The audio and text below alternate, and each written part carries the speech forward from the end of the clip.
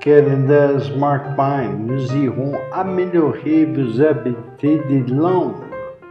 Vous irez voir le Present Simple. Nous irons faire quelques exercices. Donc, laisser ici. Nous irons les faire tous ensemble. Canada has a smart mind? Présent ensemble. Nous utilisons les présents simples pour parler sur les actions que nous voyons comme permanentes. C'est un mode assez commun et c'est vraiment important. Ici, nous parlons des actions régulières ou événements.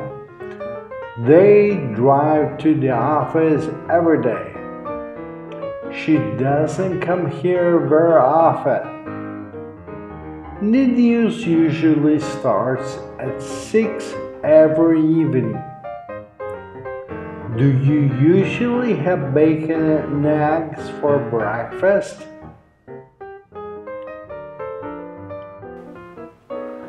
Which one is the present simple and why? 1. I saw you in the park yesterday. 2. I eat this fish for dinner. 3.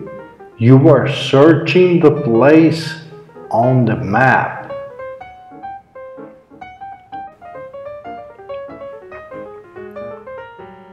The answer is number two. One, it is a past simple. It states an event in the past. Two, it is present simple.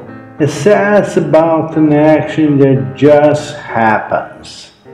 Three, it's a present continuous. It says about a very long action that is not permanent, it is temporary. Go to the description below and click to discover more, and you know what else to do. Allez dans la description ci-dessus pour savoir plus.